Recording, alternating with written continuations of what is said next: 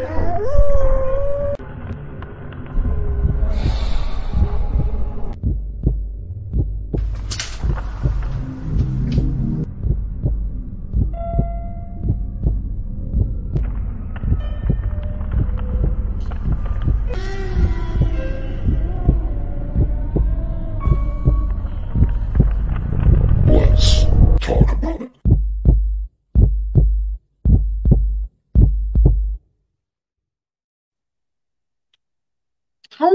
And there we are. How are you? What up? What up? Hey, you know, if I was whatever, what up? If I was any better right now, What? I'd have to be twins. I'd have to be well, twins. listen, not everybody has, you know, let me put it to you this way. I love cooking and I love eating mom's home cooked home cooked meals. And then I remember I'm the mom. So you're pretty lucky because your lovely fiance likes to cook and she's the Oh, yeah. Oh yeah, yeah, yeah. I'm I'm a very spoiled man. yes. No, yes, no crap about it. I'm a very spoiled man. I know better. Do not take it for granted for one minute. How's it going, everybody? Welcome to another wonderful episode of Let's Talk About It. It's been a solid week since we uh since we've been here. What do you think? It's been a little crazy. Uh, we got to say some hellos: Stephanie, Jen, Brandy, Jeremy, Meg, Stephanie again. Hello, Michael, Chris, everybody? Tammy, Judy, Brenda, Griffin, Brenda Griffith, um, Mort. How's it going? Tara, how are you guys? Uh, good to see you. Um, Good to see you. welcome, Holy welcome. crap, that was about as New York as it gets. Um, Uh, yeah. Uh, yes, yes. Welcome, everybody. Um, to I'm pretty. is this where I up the sign that says we're having technical difficulties? Please stand by. Is that where I do this? That's in my brain. In my brain. Um, so why don't we get into it? What are we talking about this week, Richard? You know, I gotta tell you guys. Let's let let's let me ask you guys this question, okay? Have you ever been driving down the road with your loved one, dear friend, spouse? Drive down the road and go, "Damn, that's haunted." I've done it. Lori and I do it quite often. We can't even get down the block from the house without doing it. Right. Um, because down here in the South, there's like all the houses in the world, they're like 300,000 years older down here.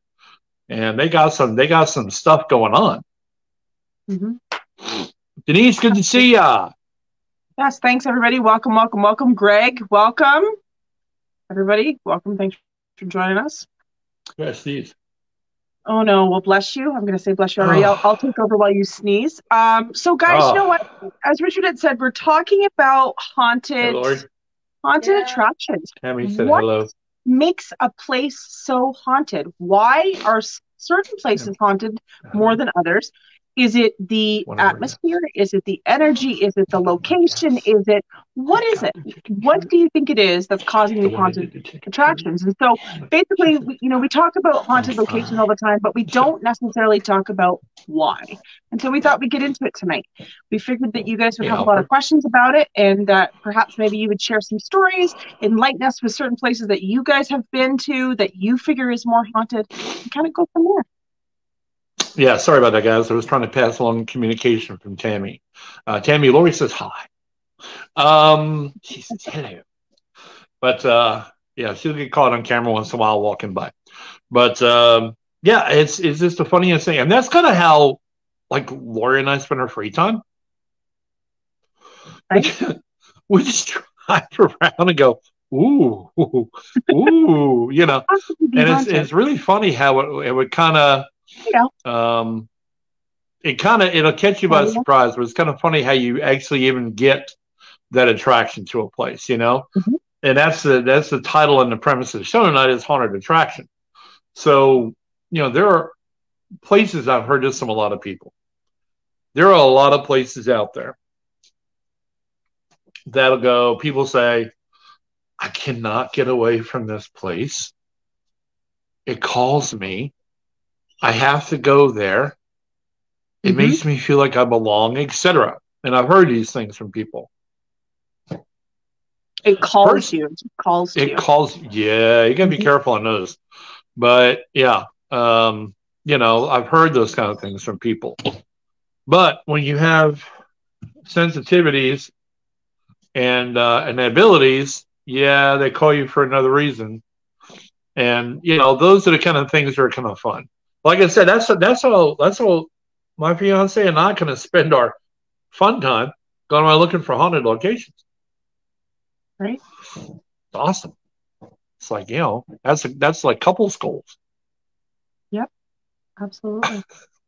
Guys, I should I should really kind of reiterate. I, I, kind of forgot this this this episode, but I may not be able to see all your comments. We simulcast every episode, so we're on multiple networks, which means that uh, not all comments come in the same place. You see me looking down. I'm not ignoring you. I'm not you know doing other things.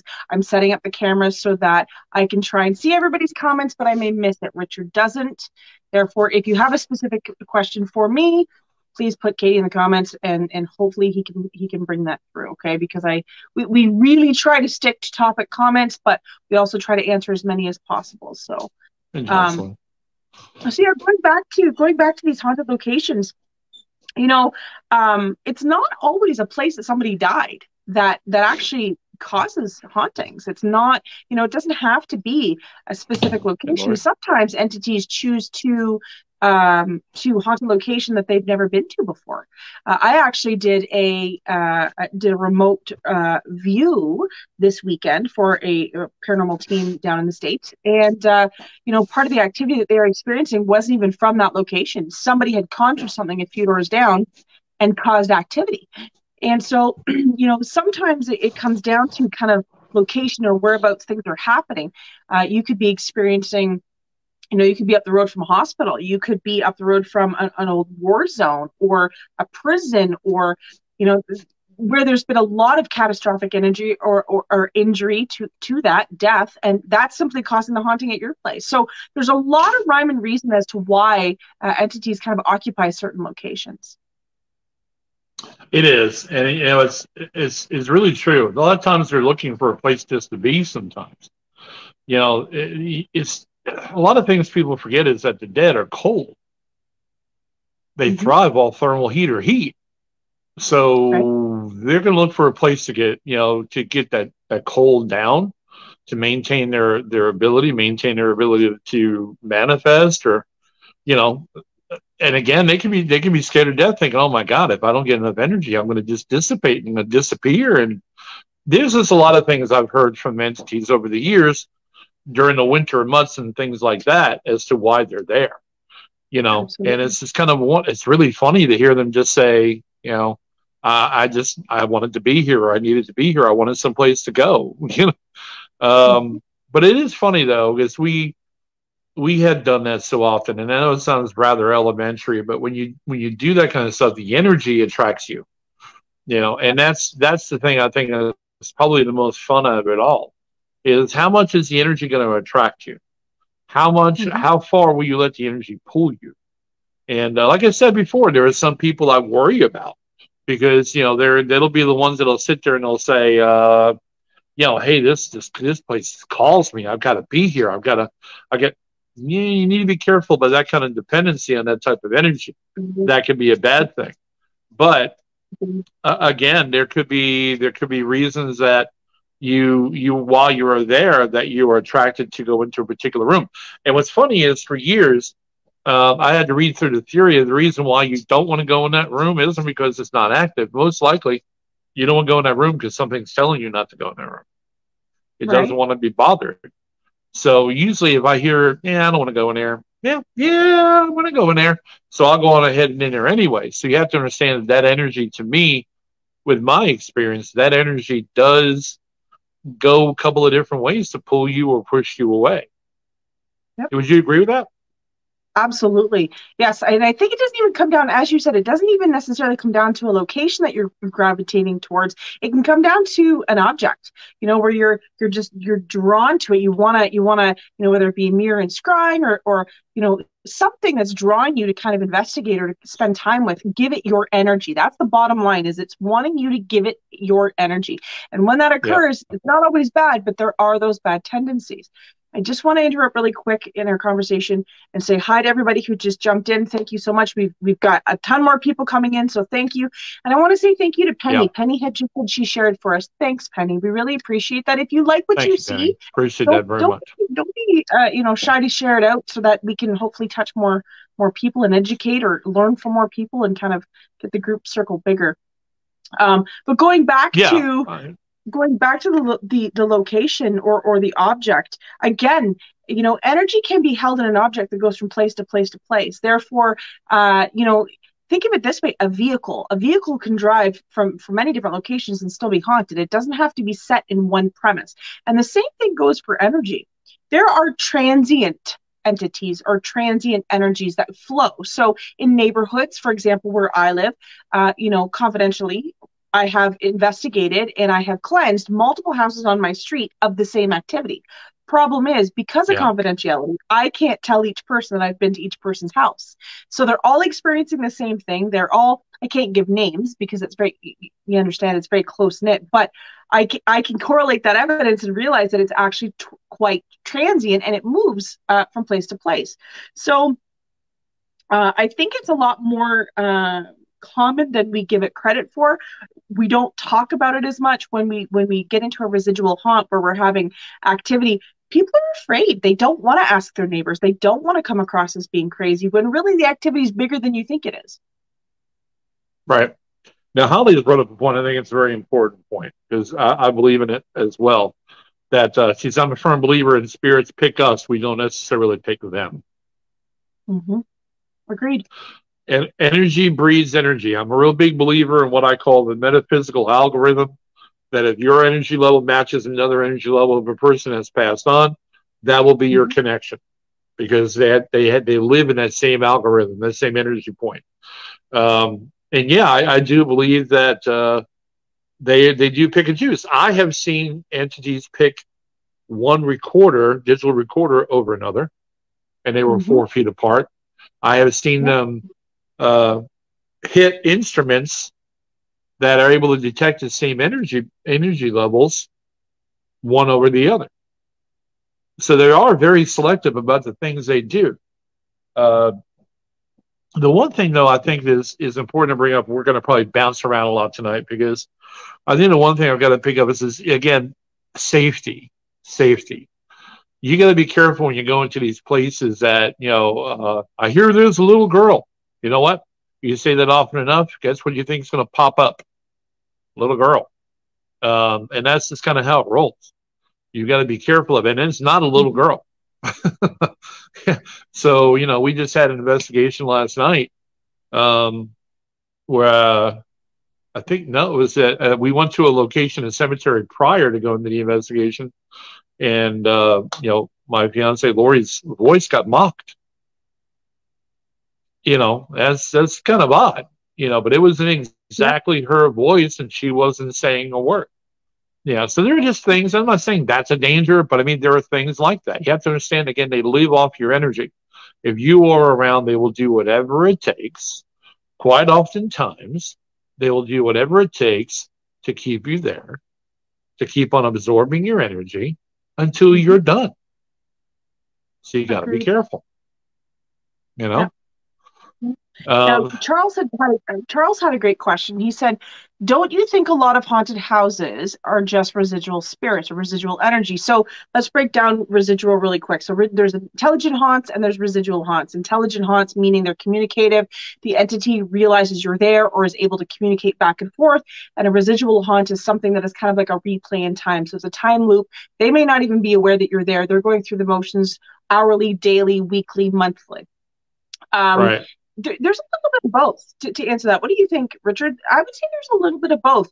Uh, you know, there are situations where, yes, in fact, there is residual energy happening, but we get a lot of investigations where, you know, they're answering us. They simply want to be heard. They want to be justified. They want, you know, help going somewhere, doing something, getting home, or, or they're lost, or, or simply even uh, they don't like the way their life went down, and so they're trying to kind of justify that before they cross over. But th- there's a little bit of both. I, I, I couldn't say there's more one than the other. What about you? I'll tell you, I, and I support that. I think I support more of the intelligent over the residual. And here's why I say that. It's really not the answer I think some people would look at. I think right now, with the equipment that we have, the methodologies that we use, we're testing the ground and, and looking for the water temperature for intelligent spirit because you're asking questions, looking for answers. And Right. the same guy, the residual energy that walks up and down the hallway at 10 p.m. every single night, is doesn't even know you're there. It will do it whether you're there or not. But if you can get an entity to answer a question, now you're talking about intelligent. But all the equipment today, pretty much, is looking for intelligent spirits instead of looking for residual spirits. It wants to talk through an ovilus or it wants to talk through any any other different type of ITC device. Um, then you got them interacting with with meters, K2 meters, EMF meters, static filtration meters. All of this is asking them to interact, which means they have to be intelligent. So a lot of the times, I think you're going to wind up having more of the intelligent picked up than the residual because we're not really looking for residual. No. In our in our investigation Mhm. methods, we're not. We're, we're in essence trying to communicate with spirits, right? We're trying to Yeah. we're trying to kind of get you know justify and get them to answer us. Agreed, absolutely agreed. I think that in a residual situation, the ba- uh, at least in my experience, what you know what what we have done is we've left cameras. Residual, you know, you leave cameras either for uh, minimum few hours, maximum you could leave a couple weeks if you really chose to. If you had enough, if you had enough data and enough uh, you know, memory, uh, leave them as long as you can. But I think that you're going to notice a lot more going through. Um, but there's also one other, there's one other typical type of haunting that a lot of people are not aware of. Okay, so we have the two basics. We have your, you know, your intelligent haunt and we have your residual haunt. But a lot of people don't realize that we also get excerpts from the other side. So you are, we've all talked about, you and I have talked about this before, the good old clock radio effect, where you hear uh, people having a conversation. It sounds like there's a clock radio going off. You know, you can hear the radio playing, but you can't make out what it's saying. That's not always residual energy. That can be, in fact, communication from the other side. There's a, a thinning in the veil, and you're actually hearing that. You're hearing it could be entities, it could be uh, guides, it could be, uh, I'll go there and say angels, but there's there, that could be going on. So uh, it's not necessarily a loop in time. You're actually hearing the other side having these conversations. And so uh, if you give it some time when you're doing these investigations, or you're taking, you know, you're trying to collect the evidence. Don't be afraid to put or even one recorder out, leave it out overnight, or leave it for a couple days because you'd be surprised what you're going to pick up. Yeah, and that's that's absolutely true. Um, you know, I think if if anyone wants to, to try to get a good sense for the percentage of residual over intelligent haunts, here's a recommendation because I've done it. Take a digital recorder, put it on a dresser, announce to the entire cast of the dead in the building, if you'll come talk to this red light, okay? we will find out you're here and we'd love to communicate with you and shut up. What kind of responses are you getting? fashioned Richard fashion, shut up. And just shut up. It's it's it's designed to if you're asking questions and seeking an intelligent answer, that's an intelligent haunt. The residual evidence that gets really skewed then because you're all you're asking for is questions answered. If you just leave a recorder there, you're going to record what comes in. Now, it could be a kid crying for mommy, mommy, mom. I've had these done. It's wild. Then you could have some that actually, you know, walk up and go, "What's this?" You know, that's intelligent. But a lot of times, it gives you a good idea, I think, to be able to judge what you're actually dealing with. So if there is an entity or three or or whatever that are in that building and they, you know, they they just talk as if they've always said the same thing for a million years and then you know the next thing you get is an entity going you know, who are you and what are you doing here uh, you know Right. what can i do for you? What do you want? It's just a way to be able to judgment. But we don't. I mean typically we we grab all these pieces of equipment and we go out and we we do our best to find what we think are the answers which we do. That's our job is to find the answers. But when you do that the only credit the only credit you're giving anything that's passed on is intelligent but meanwhile, there is a lot of trapped energy or, or residual energy. There's a lot of it out there. and you could capture a ton of it. I've done this. I've left a recorder in a room overnight, nine hours. Didn't say a word other than you come and talk to this if you want to. Just talk to this red light. I left that room. I woke up the next morning. I went and collected the recorder, and I'm sitting there listening to both residual and intelligent haunts. They're, they're both there. So again, to me, it's it's just one of those things we have to look at. I know it's a little off track with our subject topic tonight, but you know, for me, it's just kind of one of those things. That's an attractant. I'm an audio guy. Uh, yeah, um, I'm strictly an audio guy. I, I like to capture video evidence. Don't get me wrong. I've caught a lot of it, photographic and video evidence. But man, the ability just to, to talk to the dead. That is my that's my that's my crack. If I gotta say I've got a, an addiction to something, that is my drug of choice. I would love to have a digital recorder, sit in a room, and get what am I going to say next, Katie? Shut up. Shut up. in a and true Richard fashion. yeah. I mean, you'd be surprised. To me, that is so cool.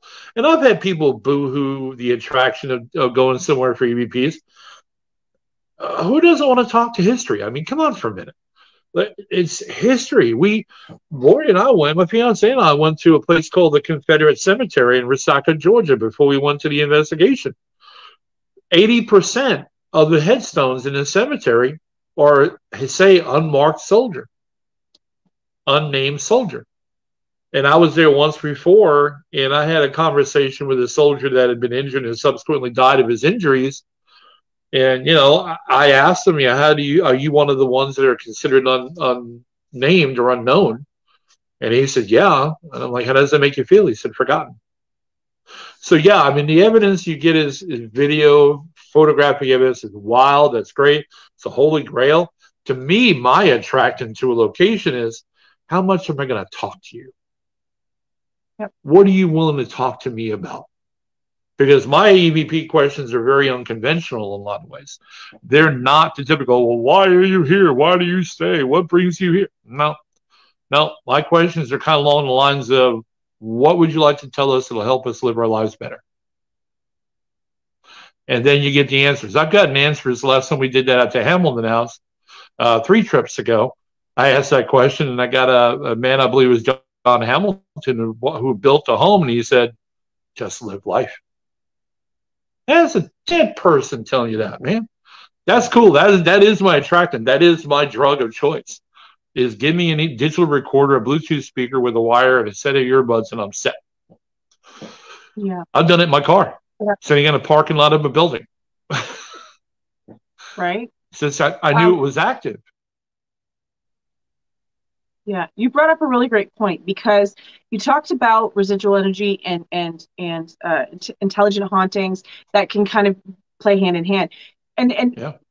you used a great word. You used layered, and, and I again I don't think a lot of people realize this. Layered hauntings can happen where you're having oh, yeah. multiple entities in one location. They either don't know each other's there, or they don't cross each other's paths, or they each stay at their end of the house or in each other's room, or it's not as if they're all going to daily dinner today you know, they're they're they're not right. sitting down and having a group ghost meal. Um, they have their reasons for for being attracted to that certain room, uh, location, space, object. Okay, and a lot of times entities are quite territorial. Last no, two years ago now, we went to um, an old military base that turned out to be a psychiatric ward, I believe. And uh, they it, it was like a hospital, and it housed a lot of people. And during our walkthrough, we had gotten to the second or third floor, and the gentleman who was walking us through, showing us where we're going to be investigating. And a woman entity came out and scratched me right on the neck and was like, Get out. She did not want me in that area. And I jumped back because it was as real to me as you are. You know, I thought, What is this person doing? And she scratched, she disappeared, and I had scratch marks on my neck. And and, and I told them this is what happens. And so the gentleman that, that was doing the walkthrough was like, Yeah, that's the room that the crazy lady's in. I was like, Thanks for the heads up. Um, but it was a really cool experience because it was a first-hand experience. I got to, I got to experience that. Uh, you know, number number two, it was valid. My psychic abilities were coming through, and I was able to explain that, you know, and validate that. But it's the fact of the matter yeah. that she, even though she knew we were coming, she knows that that that people were coming for the investigation. She was still territorial about her specific space. And so, it, not only are they territorial about us uh, being live beings, but they're territorial about other entities sometimes. And so, you'll get that bickering sure. back and forth in a location where it's like you'll, you'll hear one entity say, run and hide. Or he's coming, or sometimes there's there's that alpha in the in in that ghost pack, we'll call it, that kind of makes everybody else scatter or makes everybody come to order. Um, Oh, I absolutely. find that doing EVP sessions, and maybe you can kind of because you're the EV, EVP guy, but have you ever found that? Guess when you're doing EVPs, so electronic voice phenomena. For those of you that don't know what EVPs are, so that means that you ask a question and you get an answer back during the audio. So you have an audio recorder or a video recorder, and it's not always heard in present times, so you have to play back to get the answers. But right. do you ever find that uh, you know it's cyclical in the sense that it gets it, it gets busy, you're hearing a lot of conversation, then it goes dead, and then it gets busy and it goes dead. But do you ever get it where entities will kind of go stop talking and all of a sudden they're gone? You know, like Shh, we got to be quiet now and kind of leave. Oh yeah, yeah. They get they get tired, and and that's kind of why I, I won't stay very long in each each location. Or if I have a location with a lot of a lot of space, I won't stay in the same space very long because they get they get tired. They they do. Um, you know, it's the whole dog and pony show. They didn't have to do it when they were alive, you know, and, and they're, they're going to continue to have to do it. Um, you know, they're, they're going to have to, uh, oh, he's dead. Um, we're gonna we're gonna do an investigation of this bug that Lori just killed. Um, with a spider. It was a spider. Got it, honey. It's gonna rain now. Like spiders. She doesn't like spiders. Um, but you know, I mean, so to me, I don't, I don't like to wear them out. Uh, you can feel as a psychic medium, I don't know you agree with this. You can feel the energy coming and go. To me, energy has always been very cyclical. So, you know, they'll come through, they'll they'll do some stuff to help out or or to, to um, you know, kind of make you understand they're there, but they don't. They really don't. I've never had any of them say, "Oh, sure, just ask me an hour's worth of questions." No. no. Yeah, right. Oh, they, they do. They get tired. encore, please. Yeah. No, they're usually yeah, encore. One more song. No, that's not how it works. You know. Um, but I've had a lot of them. I've had one at the Red Hotel uh, on the third floor. Uh, William Rains uh, literally was so tired of asking questions that Class A EVP, which means Class A means you don't even have to touch it to get to know what he's saying. Class A, he says in EVP, you're not getting nothing. I'm like, oh, all righty. Calm down, bro. Calm down. You know, then you realize you warm out. You realize you need to move on. Stop pushing. Stop sticking. The, stop poking the stick to get the to bear to play. Right. You wear them out and they don't want to deal because they don't have to deal with you. That's that's the whole point. They can ignore your ass the entire time you're there if they want to. I've had to go into into locations um, and literally apologize to the spirits in the building before I can conduct my investigation because the last group that went in there was a band of yahoos that provocated and did all kinds of stupid stuff in the building, like using a Ouija board in a haunted location just to stir up activity. And I'm going to tell you, the answers I got back and the, and the remarks I got uh, but from me and EVPs from the intelligent spirits that are in that building is God, please don't do that ever again. Literally got that EVP. Please do not ever do that again. You know, saying talking about the the Ouija board. It yeah. not every spirit likes that. You know, they know what happens, good, bad, and ugly. So they, they may not want to play with that either. Um, but yeah, I mean, it's it's just kind of one of those things where they get tired. Yeah. So let's break it down a little bit. So we've got residual energy, we've got haunted energy, or you know, intelligence. We've got layers. What is it about a location that attracts these entities? Is it the actual energy? Is it is it the fact of the matter that deaths occurred? Is it the tragedy? Is it the sorrow? What do you think it is that in certain locations, and this is an open ended question, what do you think? Why, why, do you think they're attracted to certain places? I have had, um, as as you have, many, many, many, many, many years of investigating. Uh, I have literally asked this kind of question. You know, why here? Why now? Why why not go home with your family? Why not, you know? And, and what the answer I got over the years with about four or five different investigations was some very superb and intelligent and wonderful spirits simply was when I went, I feel confused. Mm-hmm. I feel dazed. I feel drugged. I don't know what's going on. And the first thing they look for is a place that they're familiar with. It eliminates the confusion. So if you put in 10, 15, 12 hour days at a, at a job and you went there for 20 years, there's a good chance you go into that job because you know it. Yep. You understand the area. You know what the building looks like. It's not confusing to you. But I literally have had an, a spirit entity tell me it was a doctor, literally told me that being on the other side is like being on Demerol. Yep. Great. Being on Demerol. And I that's that, you know, that's crazy. Yeah. Yeah. I think as well, what people don't realize is that sentiment sentiment is, is a really strong word we use sentiment every day you know things become sentimental to us we keep them because they're sentimental sentimental also falls onto the other side so um that kind Amen. of grounds us and adds a tetherment to it. So the sentiment could be an object, it could be a place, it could be a thing, it could be a person.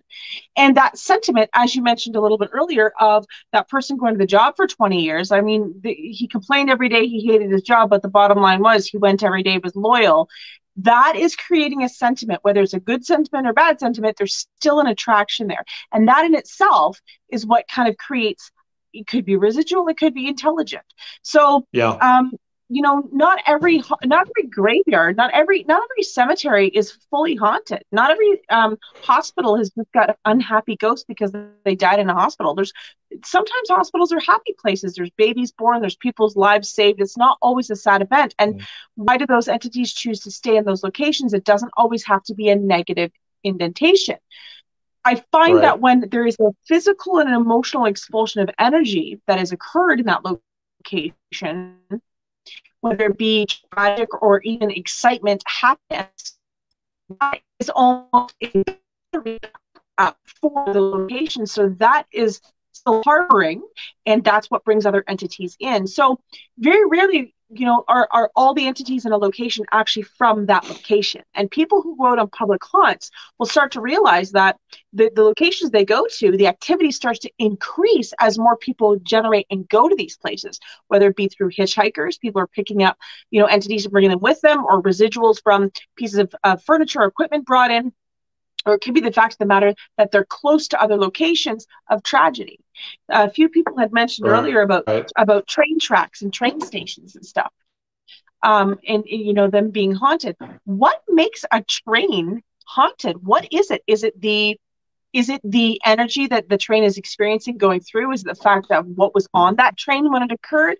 What is causing it? But that's a common denominator. Is it the the actual uh, you know energy being utilized while it's going over the tracks? Is it the iron? Is it the earth under the train tracks? But we all have those stereotypical locations that we're finding that are typically haunted. And it, i would be really interested to kind of do a field uh, project to see what the common denominator is with these places.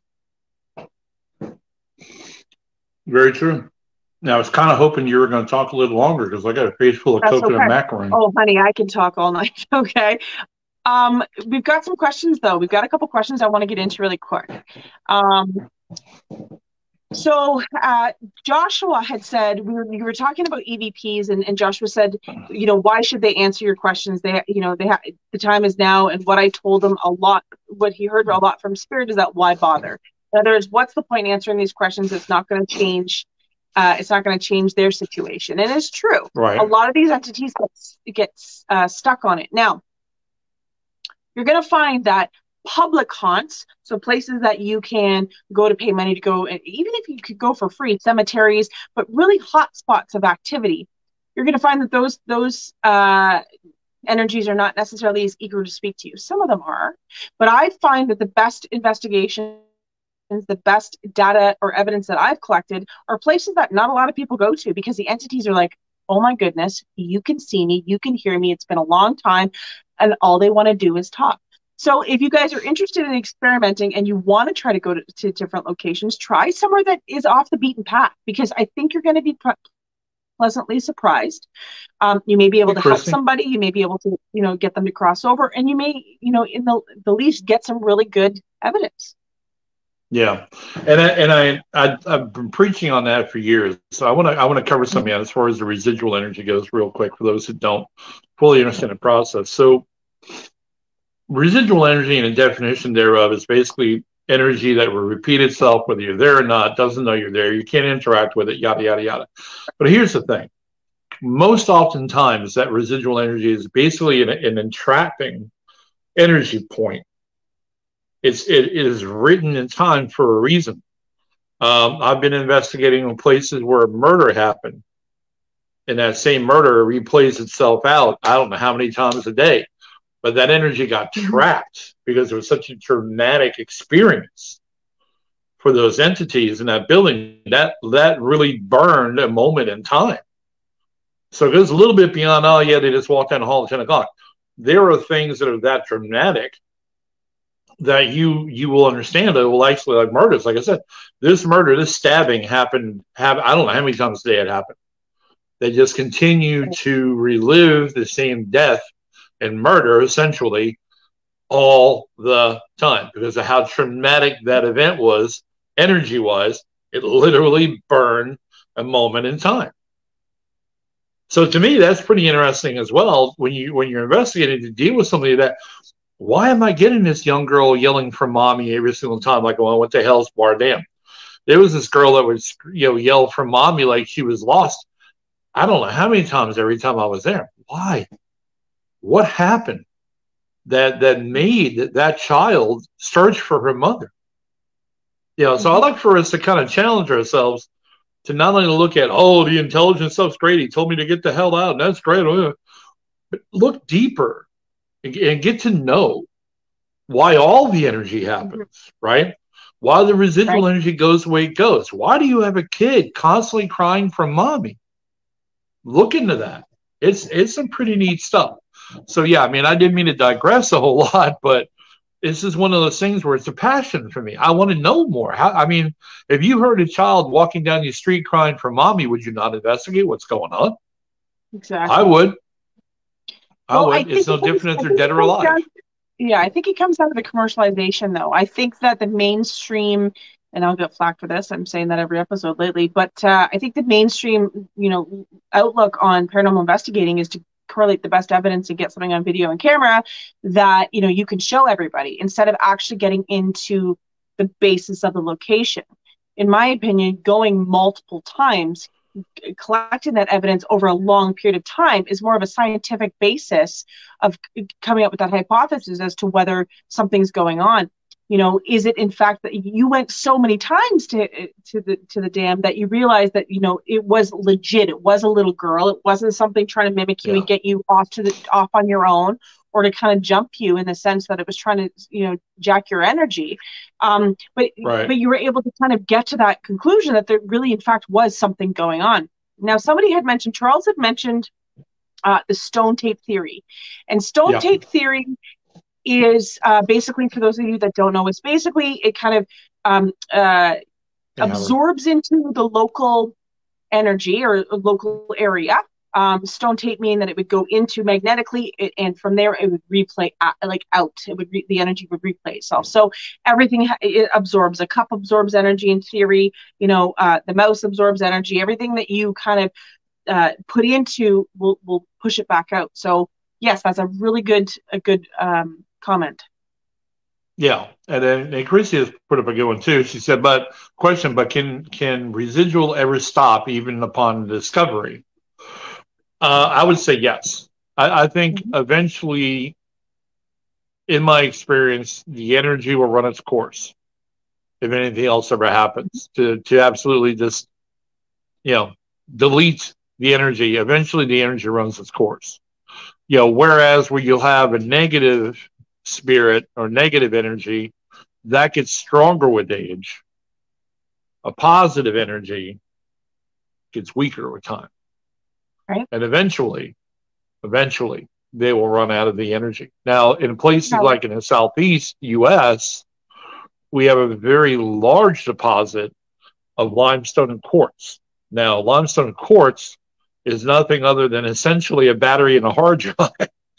I mean, you you've got you've got the ground, you've got the geology recording history, and then you've got you know the battery running this same thing over and over and over and over again. So the shelf life, as I've researched, the South is well over 500 years in paranormal activity on the regular, whereas in some other states, as you go further north, that kind of dissipates a little bit. Um, not a lot, but a little bit. But everything has a lot to do with how is it being recorded. Is it being recorded on that foundation of quartz and limestone, like it is in the South? Because that's what makes it stay around like a maniac. Uh, so you'll have that. Plus, a lot of places in the South were built on underground rivers, underground streams, and all that's doing is constantly cycling energy up through the ground. So, you know, in the case of Hales Bar Dam, for example, it was a hydroelectric dam. It was built to have the river run the turbines to be able to deliver energy. Those turbines still move. They're underwater, but they still move. You catch that place in June or July or August when the water is up high enough, you'll see a whirlpool in the water when the turbines are still moving. So we wonder why places like that are active with residual and or intelligent haunts. Well, wow, there you go. Yeah, but again, in the South, you have quartz and limestone. Then you have a lot of underground streams and rivers. Mhm. All that builds up. Yeah, and somebody had mentioned ley lines. Ley lines are basically Yep. lines of energy. Uh, the pyramids are on ley lines. Stonehenge is on uh, ley lines. There's a lot of places in New Mexico, Arizona, Nevada, Ontario, Canada, where I'm sitting right now. There's there's definitely ley lines, and it's basically highways or rivers of energy. And what there's there's been um, um, the famous uh, Ram Inn in in the. UK is also on on a ley line and there's a lot more energy that happens. So um, it's not always necessarily the building that you're experiencing or, or, or the objects or the people in the building. It's what's actually underneath that has ramped it up. As richard had said you know in this area we have a lot of limestone. We do have quartz as well but we have a lot of limestone and that is uh, you know a- another battery back you know absorbent for energy. So uh, you know you'll you'll notice that there's certain places that have have more than others um it's also guys we have to we, we kind of forget we get right to the physical aspect. We get to the physical aspect of we live in a physical world. So we we come to that physical logical explanation that it's the the water and it's the you know it's the ley lines and it's the quartz and it's the house and it's but we forget. Think of a wartime zone. Think of even gettysburg i'll refer to gettysburg there was a lot of emotion that went on in that location during the war a lot of sadness and anger and uh, resentment and fear and uh, you know uh, determination. All of those pushes of energy we'll call it okay? Those expulsions of energy. That had to go somewhere. And what it did was it absorbed back into the area.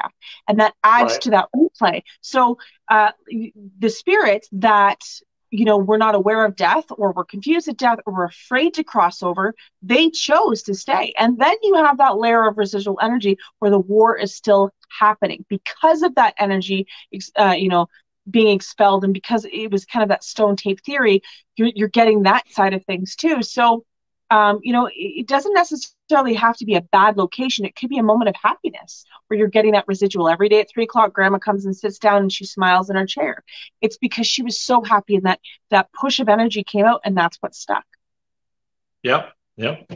Now, Earl, forgive me if I screw your last name up. Don't mean to, brother. Earl Gundenlock. Um, Gundenlock. He says, I feel you guys should talk about folklore going to an area, calling out a creature or creating its reality. Okay. So we have we have talked about we have talked about folklore uh, quite a bit actually uh, if you want to check out some of our old episodes you're more than welcome to do that but we would always keep talking about it eh richard Well, I'm going to go ahead and tell you right now. There is actually a creature that we were found out through our multiple investigations at the Wright Hotel that is called a boggart. Boggart in the Fey lore is uh, basically a house servant type of entity. Now, people are like, well, how did, and it's prevalent in the UK, right? So people are like, well, how did an entity like that get to the southern United States? We, let me explain it to you. Um, the area that this creature, the building this creature has been seen and recorded and on camera, and other spirits in building have admitted that he exists and he's real. Spirits have admitted to this. Um, that area, that building, that land was developed by Irish and Scottish immigrants. Okay. He came over with somebody. Um, yes, he has been pictured. We had an incident where, and I thought you'd appreciate this, Earl. That's why I'm saying it. But um, we had a lady on a tour that is a phenomenal artist, phenomenal artist, and uh, we were doing it in, uh, you know, doing an EVP session on the second floor of this hotel, and she literally went, "Whoa!" And I'm like, "What? What happened?" And she said, "Did did anybody else see that?" I'm like, what, what are you talking about? She said, "I can't." I I was like, "She's." I can draw it, and literally, we, we found a pad. And she drew it, and then we did a lookup on Google, and uh, I would say a good ninety plus percent matches up with something called the boggart. In that lore, you have boggart, brownie, and bogle. So these are all supposedly mythical creatures. Mm, not so mythical. We got them right there in Chatsworth, Georgia. So yeah, I appreciate that, Earl. But yeah, that's just kind of something for you. Um, what's going on, Howard? Yeah, Holly's like my basement's limestone. It's all all the ground and cane is crazy. Limestone's good stuff. Um, Earl says, for example, the Candyman. Uh, yeah, those are kind of creatures that can be. You know, here's here's the thing. Just kind of put it in a in a nutshell. I think your mind is your most powerful ally or your biggest enemy. Right. So if you try hard enough to manifest something, you maybe a group of your friends, maybe a regional aspect on a particular item, and ooh, I saw the Slender Man. Ooh, I saw this. Ooh, I saw that. Eventually, you can manifest it. It was actually proven on a on a paranormal investigation show that they were able to actually manipulate the spirit that was there mm-hmm. to become something that didn't even exist. Yep, Phillips. I saw it. I'm yep. like, wow, that's really interesting. Yep. That's really interesting. I mean, that just goes to show you when you have what I call vacant identified energy so when you have something that it doesn't really know what it's like, that's really kind of in a lot of ways too what a doppelganger is. It really doesn't have a set personality or or look. Mm-hmm. So it'll copy you because it's oh okay oh okay you look like that oh okay, but that's just kind of what it is. You can create a you can actually create Earl an entity. I'm going to agree with you on this point. You can you can create an entity. Mm-hmm by manifesting it through through an investigation and, and basically manipulating the energy to become something that never existed. I don't recommend it. yeah, I don't recommend it, but it, it can happen. Yep, agreed. It can happen. Yep. I think yep. that a lot of the public haunts that we have, you create monsters. I also think it comes down to the conjuring too. So it you, you have to be careful when you're doing your investigations that you're actually uh, you know, uh, dealing with the entities in fact in the location and not you're you're not requesting more to come in. As a psychic walking into a location um, i get my fair share of people who are at the location or spirits entities that are at the location but i also it's kind of like a payphone right? So it's a collect call and they're going oh she can see us. She can hear us. I have messages for this person and this person and this person. Think of it this way guys. Yeah you decide to go to a psychic reading. You go to a group gallery gallery reading. So that means that everybody's sitting around and you know when i do gallery readings i i read everybody. Uh, i do smaller groups but some people don't. So you'll have 100 people in, in a room.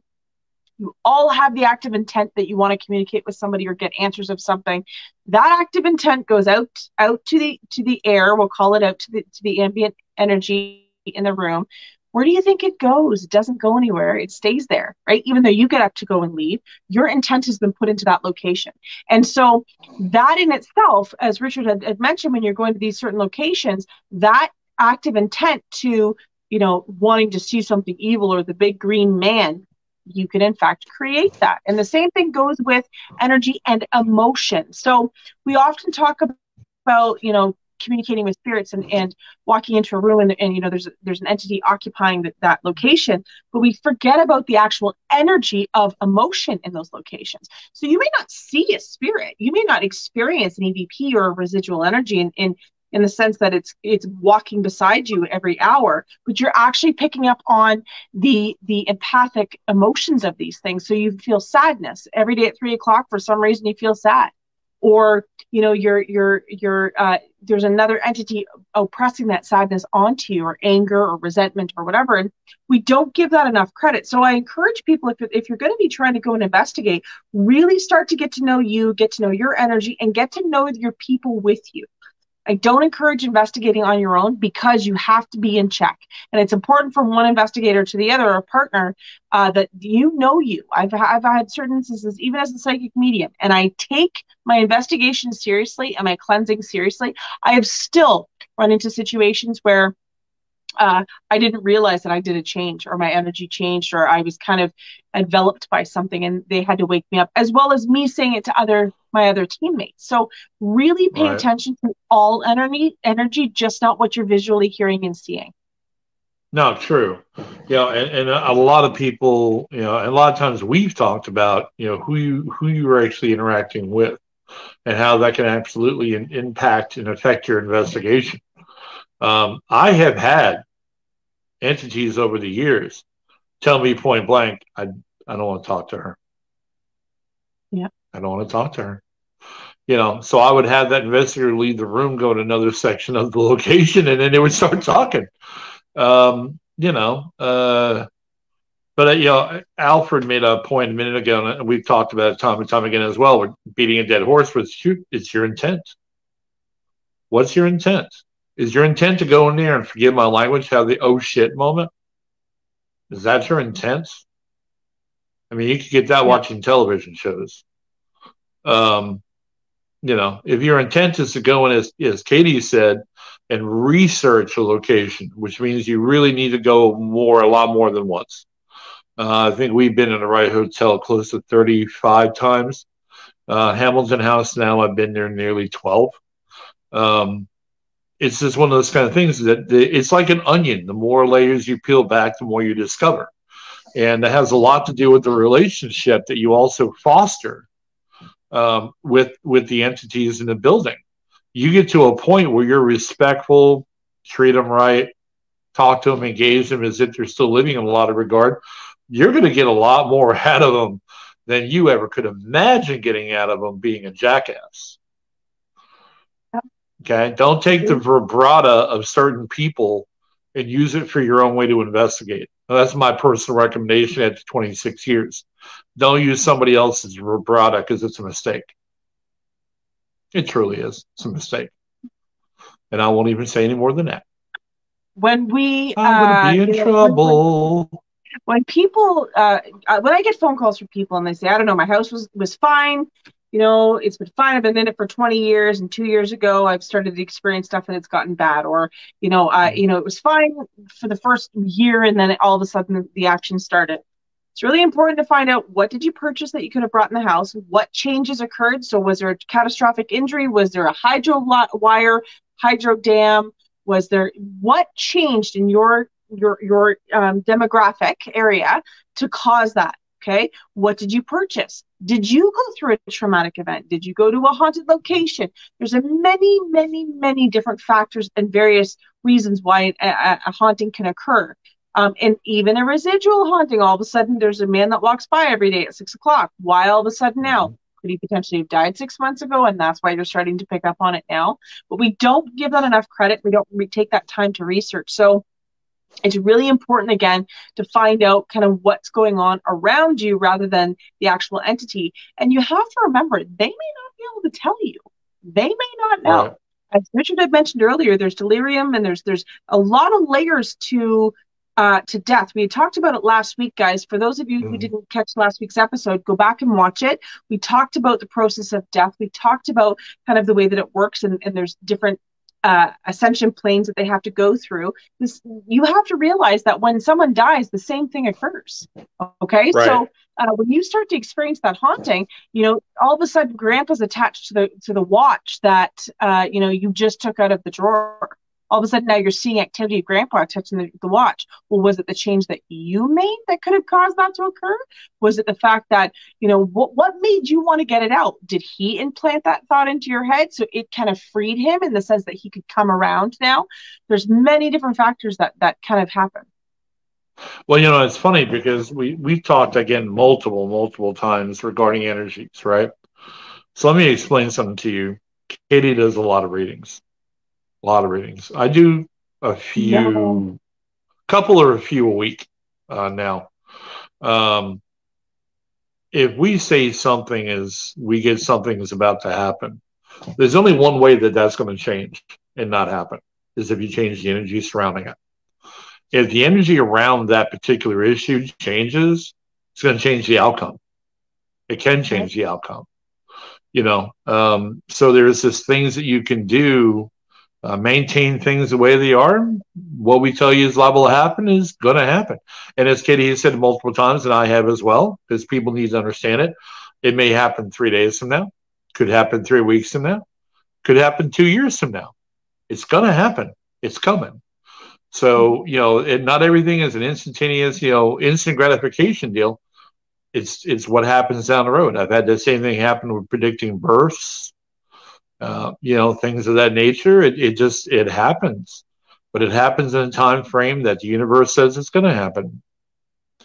Not today, not tomorrow, but maybe next week, or hell, maybe an hour from now. You never know, you know. Uh, but don't again, don't go into anything with with the intent other than a pure intent. Let me tell you what that also means. I have a habit once in a blue moon. Believe it or not, I have a temper. Um, really? Believe it or not, Guess what? And, uh. I had I got I was a little annoyed last night during the event, and that had the tendency to be able to sour my disposition because I'm somewhat of a perfectionist, if you can believe that. Um, I'm a bit of a perfectionist. So what happened was is I got in my own head. Okay. I couldn't capture evidence for shit. I came into it with the wrong reason. I literally had to thanks, Lori.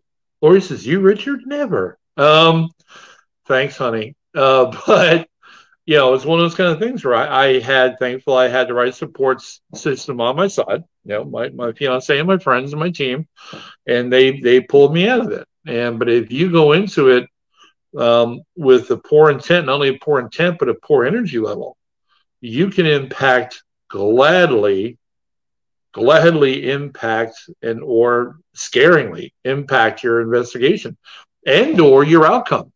You can be somebody who becomes a target because what have we said forever and a day? Energy breeds energy. Energy attracts energy. So if you have negative or low vibrational energy going around you, that's what you're going to attract. So you need to be aware. And I've talked to my team several times. Uh, we had one of our young guys uh, left last night because of physical illness. Had nothing to do with the paranormal. It was something to do with some bad Mexican food. Um, but he had to leave. And that kid was so disappointed that he had to leave, but he had to because he was doing himself no good. Um, he was sick as a dog, and that energy would have been his, that would have crippled him. In that Yep. building in particular, it would have crippled him. He would have been exactly the, the biggest target on his back because of how weak he was. And I'm not saying the kid's weak, because the kid's typically is tough as nails, but he was weak because he was ill. He was weak because he wasn't feeling well. Then I had a guest who's a friend of ours, and uh, she's super sensitive to the paranormal energy. And this one particular entity in the building just played with her like she was Play Doh. She had to go. I literally had to say, You need to go home. That's how bad it got. So you got to really prepare yourself when you walk in there. A lot of the times with my team, when I have time to do stuff, I'm not doing an event. If I'm not doing an event, there's oftentimes, if not all the time, I will look at my team and go, Is everybody okay? Is everybody straight? All right, you wa- ready to walk into this? You ready to do this?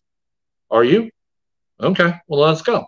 When I do an event, I don't have time for that. I, all the administrative crap wears me out, and I don't have time to do it. So I didn't have time to really check myself. But I noticed last night that I should have just, you know, followed my own preaching. Yeah. But we all You know. this this is a great reason and and you know it it keeps us humble, Richard, because we're we're pretty I like to think we're pretty experienced, but we still have our moments and it's important, guys. If you think you know everything, you got to go back to school because you know we're continuing to learn every day. Uh, I hate the word expert because I feel like we're all students in this field. Um, but you know it, that just goes to show it doesn't matter how many investigations you've been to, you still fall into the human side of things, right? Um, it, it happens.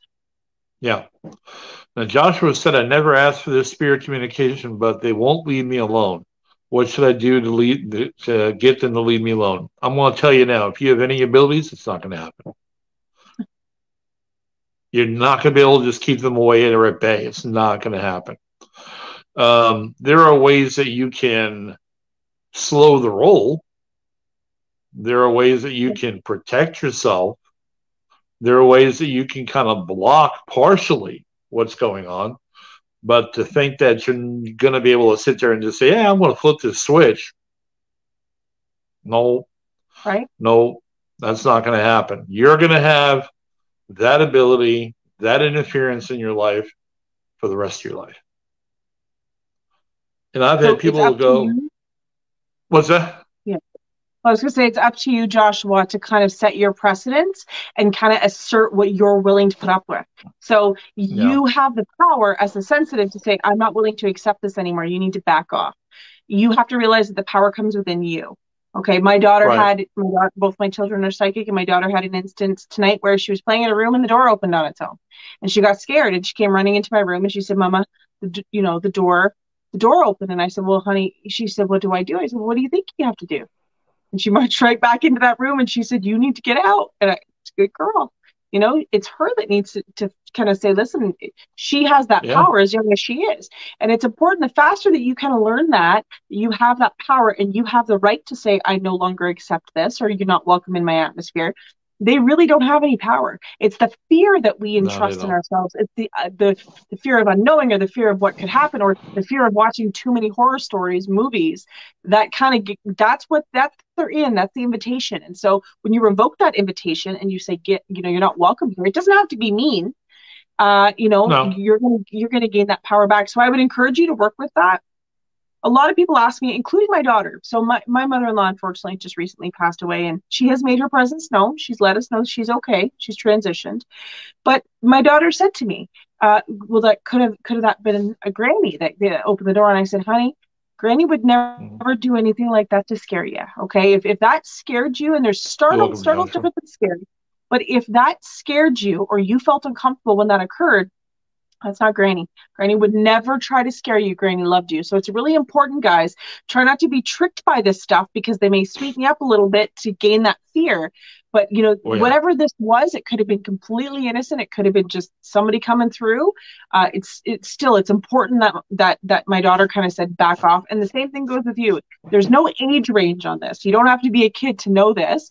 People who are coming into their abilities in their adulthood get intimidated, and it's important to kind of work with your perimeters.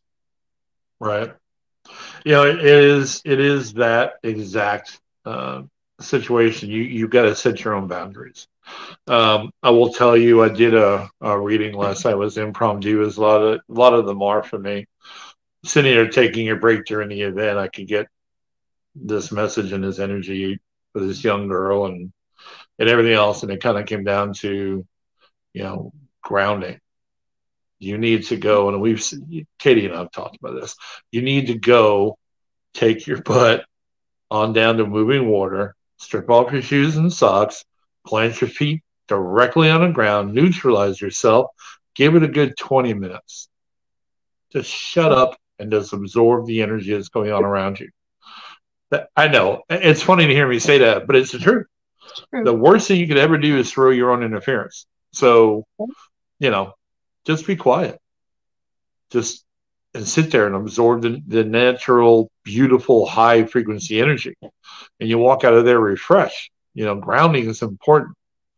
Um, there are times that you know, I, I take a salt bath probably once a month. Got to ground myself, got to protect myself. And it's not because I've got that many dead people hovering around me. But when you go on these investigations and you go to these places, and it's not exactly the, the entire attachment of a spirit, it's also the sludge. If there's energy in an area like that, you walking through that energy, that's coming home with you too. So mm-hmm. there are times that you really have to sit back and go, I need to go grab myself some sea salt. I need to go take a bath. And you won't believe how well you feel afterwards, but there are reasons why that's necessary is reset your energy. You've got to reset your energy as often as you can because if you don't, you'll be bogged down. And mm-hmm. nobody needs to be bogged down. No, agree. Know? Let Let's talk about so investigations. And let's talk about say you know it doesn't even have to be an investigation. Say all of a sudden the, the, there's been there has been an increase of activity in your location. So you never had a haunting before but unfortunately now all of a sudden you're experiencing haunting or, or, or an increase in stuff first thing you need to do is you need to determine what you know was there a catastrophic catastrophic incident or something that had a huge expulsion of energy around the location. You know did they all of a sudden put up a wind terminal or, or, or um, did they put uh, you know did they put a hydro dam in? Did they did they change things? Did they start construction around your house that could kind of open up the earth and make things change? Once you've determined that that has happened or has not happened then you go through the process of elimination in your location Okay. So did you purchase something recently that could cause that attractant? You know, did you make changes to your location? If I had a nickel for every time someone said to me, well, no, I haven't changed anything, but I did end up renovating my bathroom or I did end up finishing my basement or I, it takes one little thing that can cause that attraction or wake up those those sleeping giants that can cause the activity to occur. Then the process of elimination becomes removing things from the location. So, did you, if you purchased something recently, did you get that that that watch out as I talked about? Remove it from the location, see if the activity uh, is still going, see if the activity kind of slows down, and then bring it back in. You know, when if you're getting a team to come in to do the investigation for you, don't be afraid to mention that part. There's many times we've gone in to do an investigation, and by the end of it, we discover that something occurred that they just weren't they didn't divulge at the beginning and it's that's the key of the investigation. So it's important uh, if you feel like you're experiencing something to really let your the, the paranormal team know what is happening at that moment. Then you mm-hmm. take the process of cleansing that that specific piece of uh, you know uh, equipment or you know that that item that you have that you feel is haunted. Sometimes you have to get rid of it you know? And sometimes it can be you investigating itself. So you know, you've decided to buy a Ouija board because you want to, you want to, you know, have a conversation with Uncle Johnny. And you didn't know how to close that door, or you bought your own spirit box, or you bought your own EMF detector, and you're asking questions, it can come down to you using your phone as a recorder and opening that door of communication to the other side. You have opened a portal door. Okay, so prior episodes we talked about portals, and, and we can get into it a little bit more, but essentially that's what you're doing is you're opening that door of communication now Francine said, can you somehow cleanse that piece of furniture? What's yes, that? absolutely. Mm-hmm. Mm-hmm. Absolutely. Yeah, and it's it's really, um, I mean, you got that with people, furniture, everything. I came across a um, a sincere war antique it was a German soldier's helmet that the soldier had lost his life by taking a round to the head. Now, that is a metal helmet, okay, with a leather strap inside to go over your head. The K2 meter on the helmet went absolutely insane because the energy was trapped with that helmet. You know, so yeah, yeah I mean, you, you, have to understand energy is trapped in a lot of different places. Antique stores, the most haunted places you're ever going to go into, I think, outside of things like churches and hospitals. Yep. Prisons. Prisons is another one. Why on God's green earth would entities want to harbor at a prison. Why would you want to right. stay at a hospital? But again, we talked about that earlier in, in the show that sometimes, even though it was not a pleasant home and it was literally prison by four walls, it was their home. It was the only place that they had. A lot of these guys and, and females that went into the prisons lost their family w- when they were incarcerated. In other words, they didn't have anything, or they didn't have anything that they left behind when they went in for all those years. And so they that's their home. It may not be happy to you or the ideal place, but that's the place they were possessive about and called their space. And because of that emotional um, uh, sentiment we talked about, the you know the the possessiveness or the the fact that it was the feeling of home, that's what keeps them there. They choose to stay in that spot. They're afraid of judgment. They're afraid to leave. They, they're possessive about that certain cell that they stayed in, or even hospital room. A lot of these people spent many months in the hospital, and again, it became home. So they developed a sentiment to the room, to the equipment, to the nurses and doctors, and that's what draws them to stay where they're at. It's not necessarily the fact that it's just because it's a hospital. Right. And you know, and, the things such as prisons and things like that, uh, Joshua, just to kind of let you know, um, from my experience, again, um, people are manifesting. That people are situated in death worse than they are in life. So here's, you know, if you're a jerk in life, you're a real jerk in death. Okay, that's just the reality of it. Um, there are people out there that were bullies in school. Well, guess what? They probably remain bullies in death. Mm-hmm. Um, if they think they can scare you, that gets jollies for them, just like it did and, when they were alive. And we should clarify too. That's ghosts. That's not, or that's not spirits that have transitioned over. That's the that's the ones Richard's talking about. The earthbound entities that choose to stay, and when they die, mm-hmm. they remain the same personality as they did in life.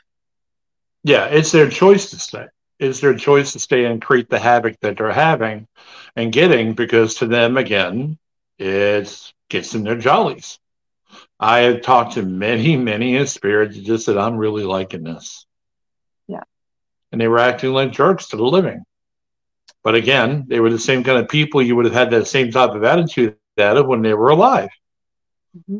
you're personified in death whatever you were in life that's just my full belief Yeah. Sorry, Chris, don't unfriend me because with people. It's just the way it Okay. Chris Madrid said, "Your lifestyle determines your death style," and that's absolutely correct in a lot mm-hmm. of ways. Uh, if you lived in fear and anxiety, a lot of times you'll experience that. You know, people who experience confusion at death, whether it be you know a, a quick death, car accident, uh, didn't know what was happening, death in sleep. Okay, death because of dementia or Alzheimer's. That's confusion. They didn't know what was happening. That may want to keep them here you know or it's that sentiment right. that that possessiveness of wanting to be in that specific spot or that sentiment over the object that keeps them there yeah um that's true i get i get this question asked a lot and i think i think it's important to bring up. You know people say to me well you've got a lot of spirits from different ages. So hospitals for example we'll use hospitals or prisons. A lot of them did long stints. Prisons are longer stints as i'm shaking the camera. Um hospitals. So you know hospitals can be 100 years right old right? I'm just making a making a number. But for 100 years people lived and died in the in these locations. Do the spirits know each other's time frames and the answer is yes they can. Absolutely they can. You have to understand that in this dimension we have linear time. There's no such thing as time on the other side but the entity is going to assimilate to what they're comfortable with. So if it was 1940s clothing, that's what they're going to assimilate to because that's what they're comfortable for. You're not going to see Back to the Future right. in terms of clothing for for entities. You can choose what you want, but that's what they're going to kind of gravitate towards. That doesn't mean they can't communicate with each other when somebody died in the 80s and somebody died in the 40s and they're not having conversations. It is possible to communicate. It is possible for them to also communicate with us um, there are certain visions that I get going into locations where I will actually be brought back into that time frame. So the entity will bring me back in a, I, you know, this weekend when I did an investigation, I was brought back to the 40s. Why? But there was a reason for it, and it, she was trying to explain to me that that was her favorite time of life. So she chose right. to go back to that time of life. It was happy. It was before she got sick. It was before things happened. Um, and so when you're communicating with these people, you're going to notice that not, not only are they coming back to that time frame but any trigger objects that you utilize during that investigation may bring them more interest at the same time. So for example that war helmet you referred to um, you know bringing that back to the to a war situation that's going to kind of cause i don't want to say cause a ruckus but it's going to cause interest uh, on the other side. Oh yeah absolutely. You know, that's this becomes a trigger object, right? We've all heard of trigger objects.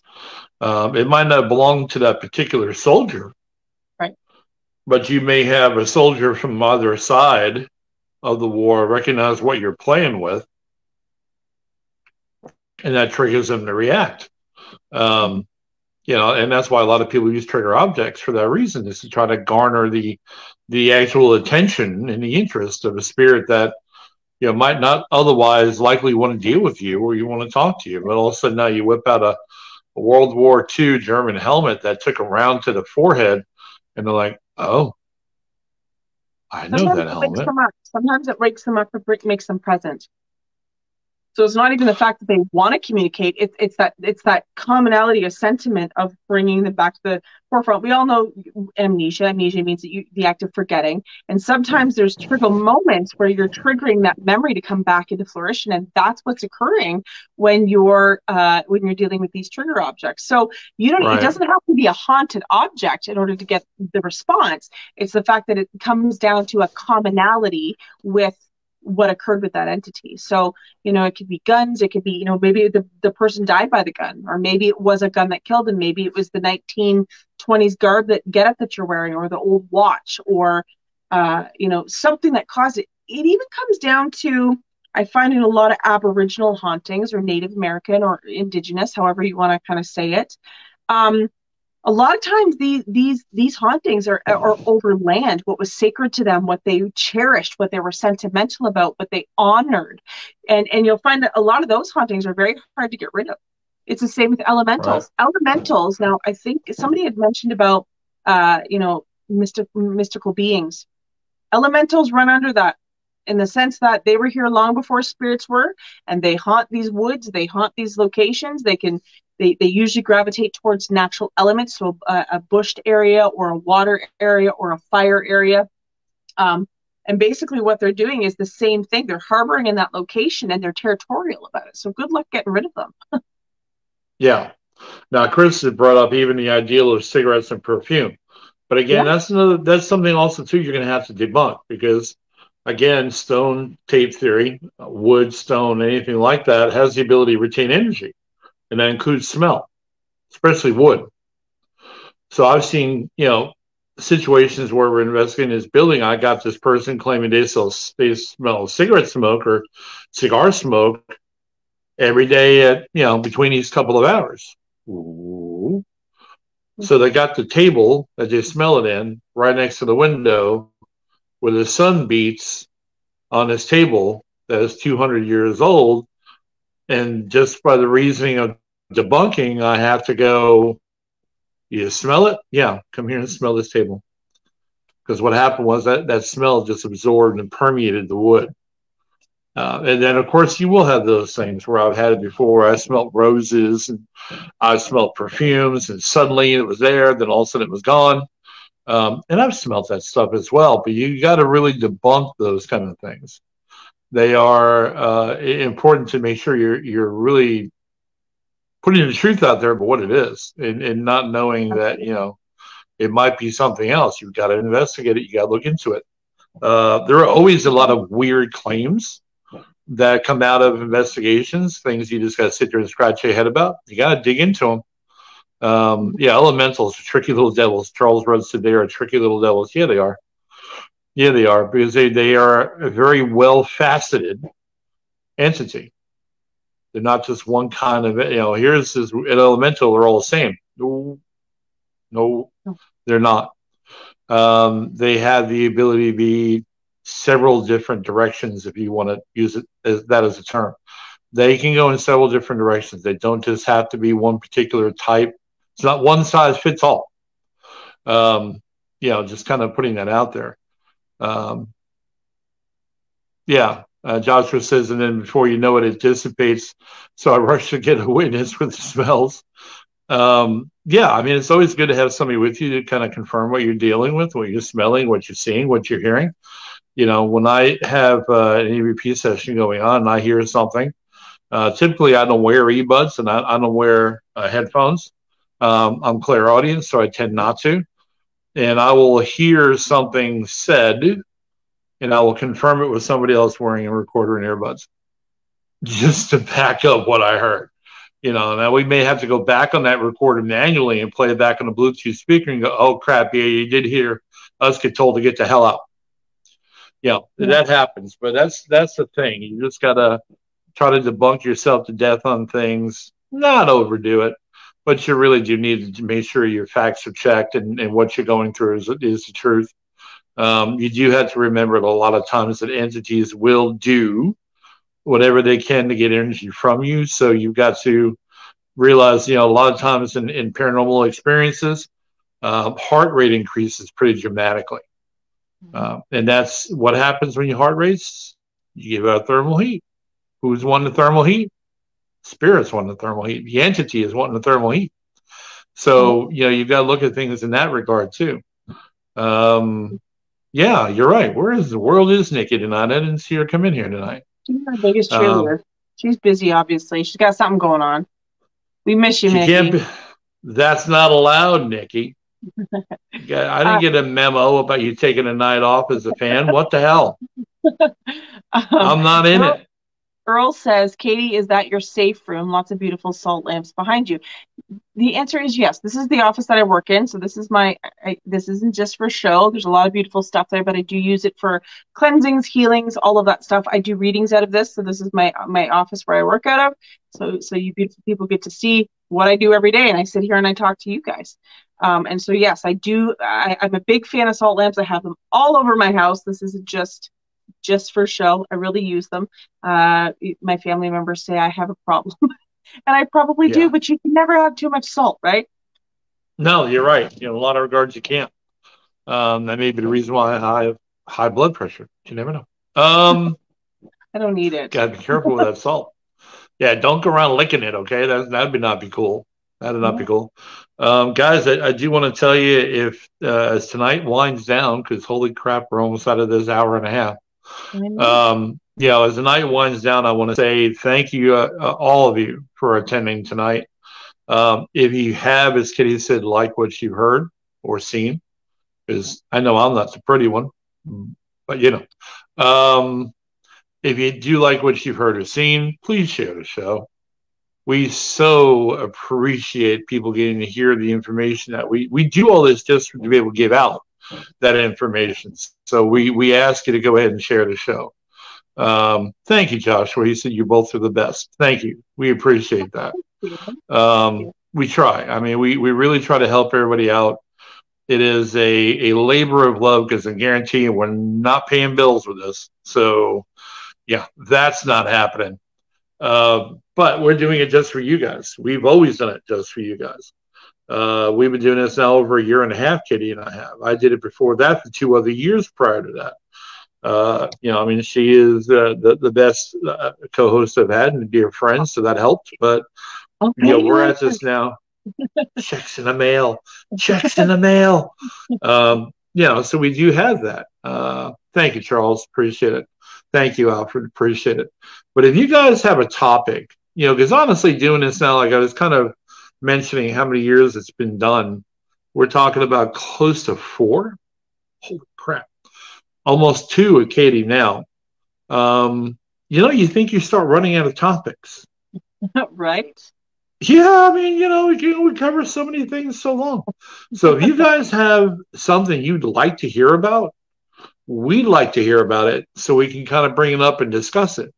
Um, that's what the show is titled. Let's talk about it. So you know, I want to have that opportunity. Katie wants that opportunity. Reach out to either one of us. Reach out to the show's Facebook page. Let's talk about it. Does have its own Facebook page. We also have a really, really cool mug. Um, that's right. We have merch. Uh, you still haven't gotten yours. One of us has a real cool mug. one of us. Whoops. I have cool mugs. I got a lot of cool mugs. I just don't have a hundred. Uh, uh, uh, let's talk about it. Mug let's yet. talk about it. Um, you know, guys, is is just our our entire thought process is about you guys. Our entire desire to continue to do this every Sunday night is entirely on for you guys. We we can I can do other things on a Sunday night. We don't. I can't think of this. another place I want to be than with you guys right here. Oh, listen, is there a check in the mail for Katie? Because you know, um, yeah. So we now wait a minute, Samarios. I'd like you to talk about new devices to use, such as radiation meters. Uh, we did we did an equipment show what about a month ago? Yeah, we did. We've done a few equipment shows, but we can always do Yeah. more. We can always talk about more equipments. You know, if it, the best thing about this show is that we have this is all recorded. So if you want to Thank you, catch up on the episodes, you can go back to the Let's Walk, Let's Talk About It Facebook page. If you don't know where it is, you can't find it. DM us. We'll try and send you the right direction. All the prior episodes are there. So the best part about it is, is you can watch them as many times as you want and get the information. They're all tagged and dated. So if that's something that you're interested in and you want to watch a specific episode, it talks about each one. Right? Yeah. Uh, so we can you, do Lori. that if you've got a particular, huh? So Lori says, love Sunday nights watching your show, and we love you coming Oh. around. Yeah, Checks in the mail, Lori. good stuff. Yes. Checks Uh, in the mail. Now, Earl had said, where are you both from? Uh, so he's from northwestern Indiana. I am located in Ontario, Canada. I'm way up in the Great White North. And Sir Richard, where are you located, sir? I am located in a wonderful place called Rising Fawn, Georgia, in the North Georgia mountains. Mhm. Um, yeah, out here in uh, where the green grass grows. Yeah, we have all we have is white snow. Yeah, we don't have any of that here. That's kind of not the way it works. Not in the South. No, no, it doesn't. Um, so, have you got any investigations coming up before we kick out? Uh, no one. It's it's Corona. It's COVID. There's not a lot happening. We do. Mm, I I have some places lined up, but we we're kind of holding off. We've got some vulnerable people in the, on the team, and I certainly don't want to put anybody in any harm's way. Thank so you, we're kind Lori. of holding off. We do have a lineup coming up. Um, but other than that, I'm just we're do, we're still doing cleansings for people who want cleansings. When it comes to dire need, we did a cleansing last week. Uh, you know, in remote investigations. But other than that, it's just readings. We have an investigation coming up Saturday night. How cool is that? Okay, so talk about it, sir. Tell everybody, fill everybody in quickly. Thank you, Joshua. Uh, it is at a wonderful, wonderful location called Stately Oaks Manor. Stately Oaks Manor is exactly what it sounds old antebellum type manor or house. Um, wildly active. Really? Wildly. We we did the world's largest ghost hunt, uh, number six. We did hour hour worth of time, hour time, Uh because they give you an hour's worth of live feed, and we did our hour live feed at this location. Um, busy, Good. busy. Right on. Yeah, so we're going to be doing that this Saturday. Um, the uh, the illustrious future Mrs. Rulin is going to be doing it with me, and then uh, two people from the team that have been there a couple of times before. So we are going to go see what we can see, and hopefully it all works out for the best. They're talking possibly doing events.